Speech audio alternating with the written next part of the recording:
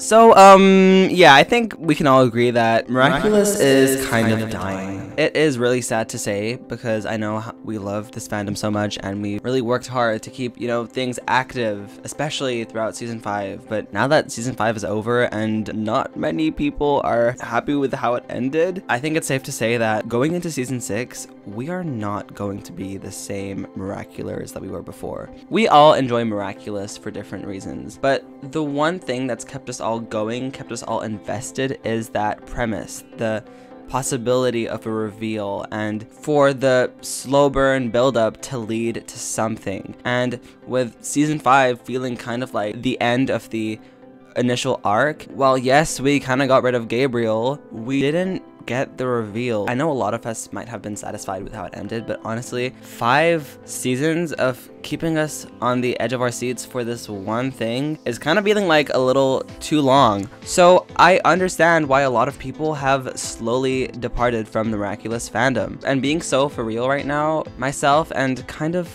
Lazy included, have honestly wondered what our future in the Miraculous community is going to be. Season 5 was great, it was very plot driven, but we have no idea what direction the show is going in. And from what we know, I don't think we're going to like it very much. But who knows? We'll see what happens. The thing is, during the pandemic in around 2021, right before season 4 aired, and right about when the first few episodes were airing, Miraculous became a super big thing. I know around season 2, a lot of us did start watching the show and were really interested in it, but when it blew up was on TikTok. And again, 2021, 2022. That was the Miraculous era. Everyone was talking about it, everyone was posting, everyone was super involved in the fandom, and they had all seen the first three seasons. You know, we, we were all freaking out when Marinette told Alya. That was a super fun moment that I think we all came together for. A lot of great things happened during that time, and we can't deny that. But since then, there has been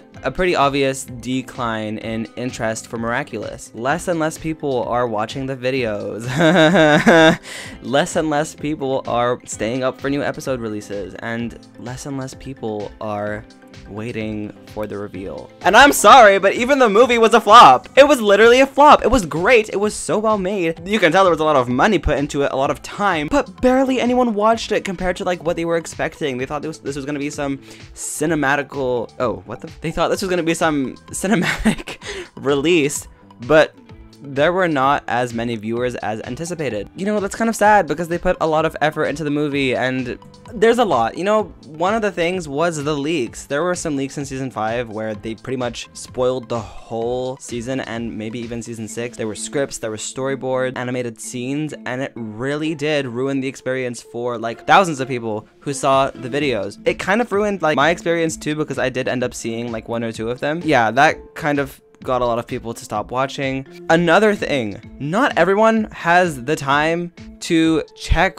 which dub is coming out when, when there's gonna be subs, what the actual timeline is, what the order is supposed to be. This is something that actually really sucks about this show and the fandom and the way it's just been presented on TV. There is absolutely no consistency in the schedule. One day, you're watching episode 2 of season 4. Suddenly, it's episode 7, but you don't know it's episode 7, and also it's in some language that you've probably never heard of. And that means people can't really create content properly surrounding the episodes. Reviews, theories, reactions, these all have big parts to play in a fandom. People might not even be able to discuss things with others because they're waiting for the right order or because maybe they're just sick of it, sick of this schedule, tired of not understanding anything about how the timeline works. I feel like we, a lot of us can agree that if things had been done differently, Miraculous would still be thriving, the fan base would still be as strong. I also wanted to take a moment to discuss your thoughts on why you think Miraculous is dying.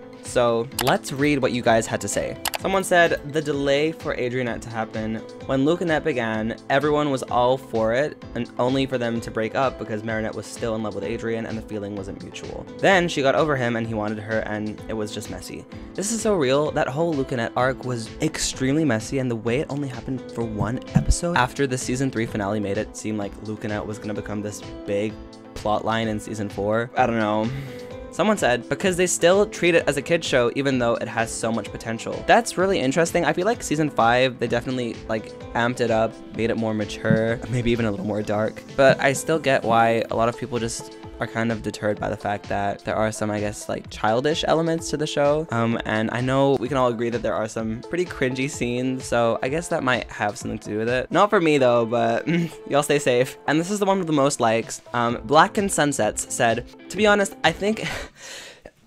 to be honest, I think it's because the series took so long to get Marinette and Adrien together for them to just probably break up again. And it was so tiring to watch them have this love square for so long that it's just annoying and no one really wants to watch it anymore. A very good take, actually. I mean, I don't want Adrianette to break up, but I do think it might end up happening, or at least it will happen and the reveal will happen. As the other person said, this is just messy. Like, they're dragging it on and on to the point where it's just, like, insufferable. One day it's Adrien and Marinette, then they break up. Then the, the reveal still doesn't happen, but watch, like, Lady Noir is gonna happen or something. They need to know that at some point it's okay to do the reveal and uh, find something new to keep us on the edge of our seats. It doesn't just have to be the reveal. And if it is, maybe the show shouldn't go on for that long. But that's but that's a topic for another day.